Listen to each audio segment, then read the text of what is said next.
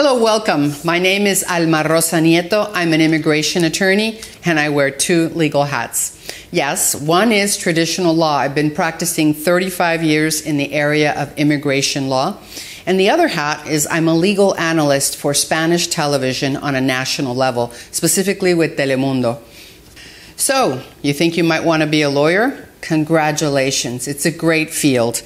However, my obvious advice is two obvious advice and not so obvious advice. The obvious advice is you have to get good grades. Getting into law school is very competitive, so the better the grades, the better your chances.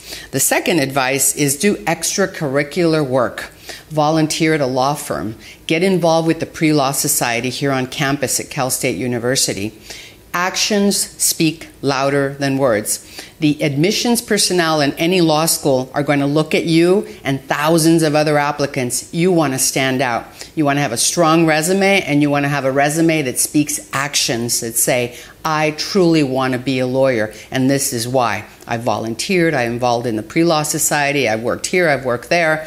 That speaks volumes and makes your resume stand out and your law school application.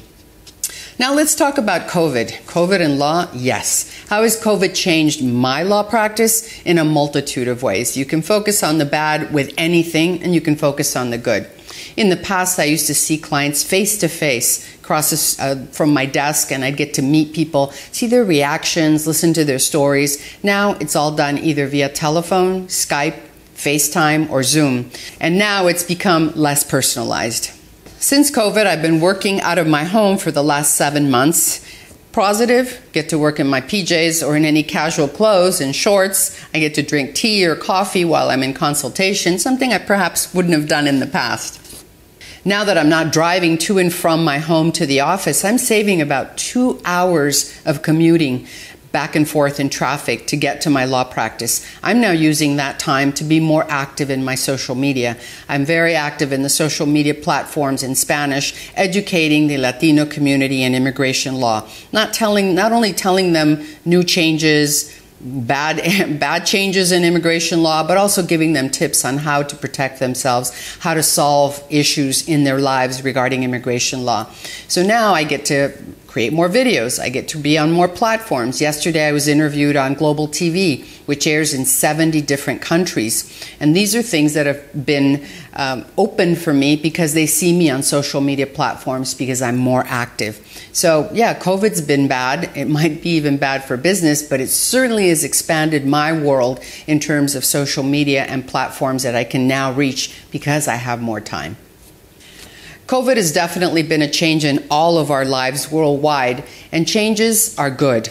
Changes are opportunities to think outside the box, to reinvent ourselves, to look in at different areas of law. I, of course, years ago said, wait a minute, I don't want to just be a traditional lawyer. I love television, I love radio, and I've expanded into national radio, national TV. Why? Because I had the time to think of where do I fit in? What skills do I have besides being bilingual, loving to speak on camera or on air? And that created an opportunity for me. Now, COVID's creating another opportunity for me, as it will for you.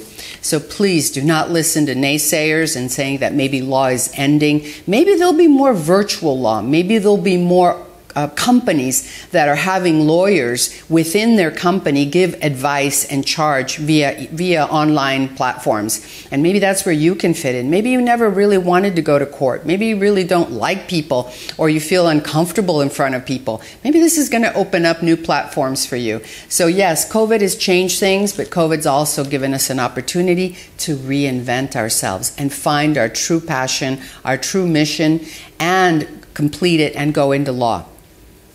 My final words of advice or my final tips.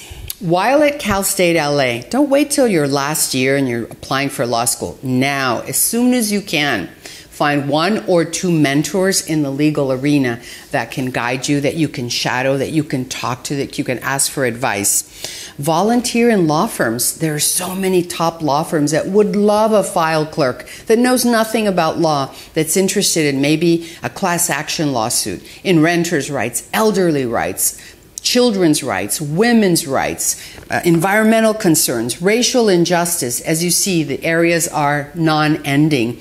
Send your resume. Tell them you want to volunteer. Tell them that you want to go to law school and you know nothing about law, but you'll do anything in a law firm. Believe me, they'll want you in their firm. Lawyers are very busy, and anyone that can help and chip in in any way is welcome. And lastly, we have a pre law society here on campus at Cal State University, Los Angeles. Join it, get involved, become active, join the uh, board, join uh, anytime they ask for volunteers. Even if it's greeting a lawyer that's coming to speak, you get to know and meet more lawyers, and this way, get more mentors. Remember, you want your resume to stand out in the admissions committee, and you want it to stand out by a long list of activities that show that your heart passion are in law. Congratulations. Please keep up the good work. Share this with other uh, pre law students and believe in yourself. That's the most important thing. Don't listen to the naysayers. You can do it.